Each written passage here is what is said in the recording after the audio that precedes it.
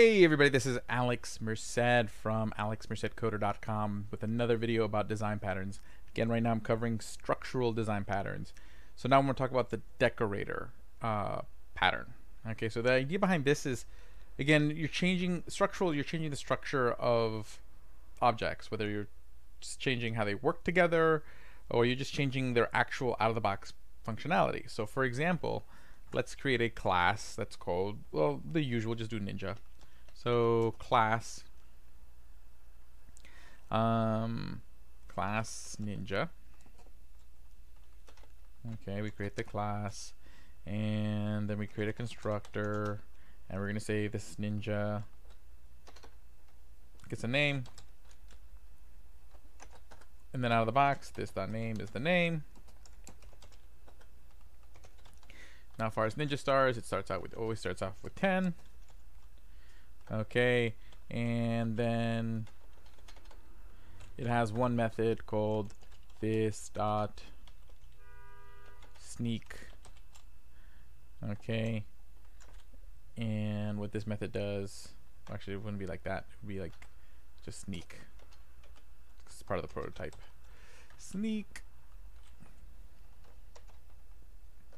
And all that does is say console.log Sneaky. Cool.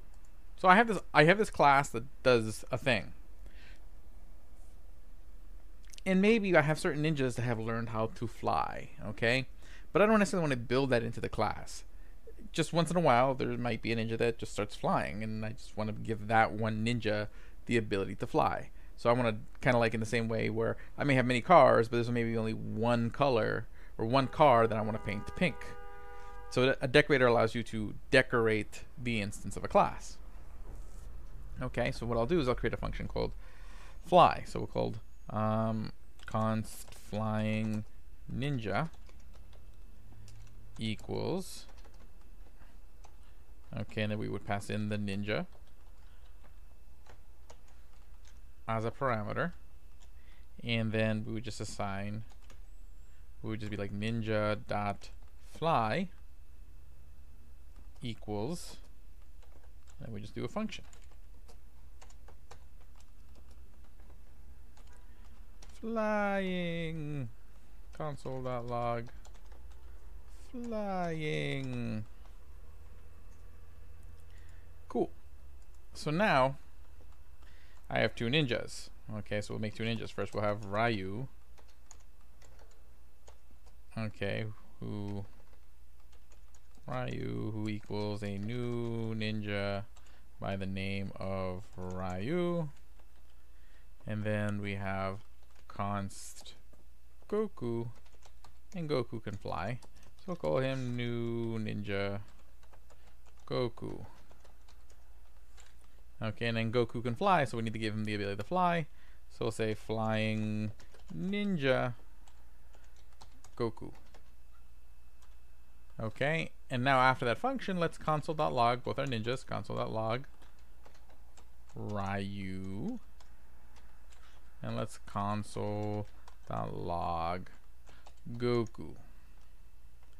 And then let's see if Goku can fly. Goku dot fly. Okay, and let's run this this code.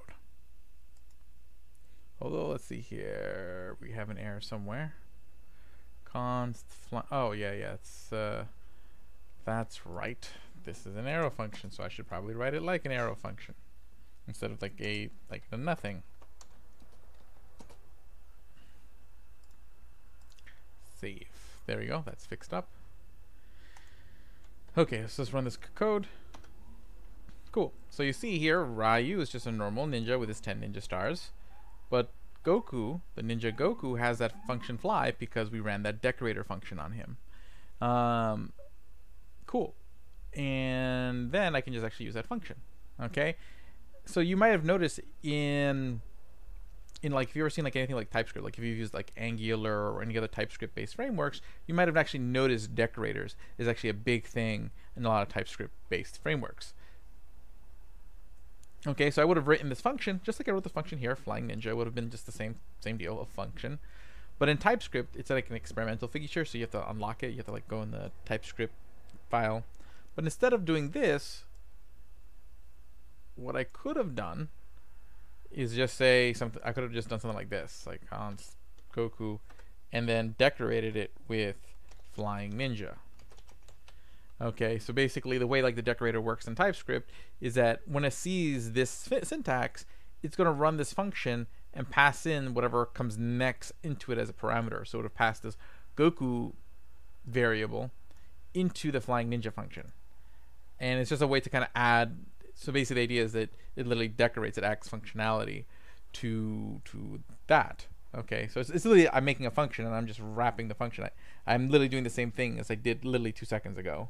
It's just if you see that syntax in frameworks like Angular, Stencil, um, FoalTS, and other TypeScript-based frameworks, what's going on there? This is literally what's going on there.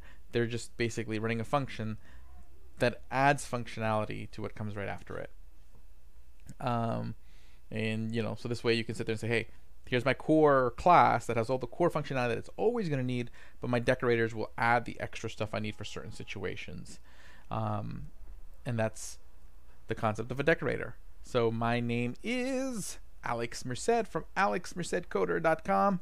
If you guys enjoyed the video, please subscribe to the YouTube channel. Please go follow me on Twitter, LinkedIn, Instagram, Facebook, wherever you may decide to be social. And you have a great day and enjoy.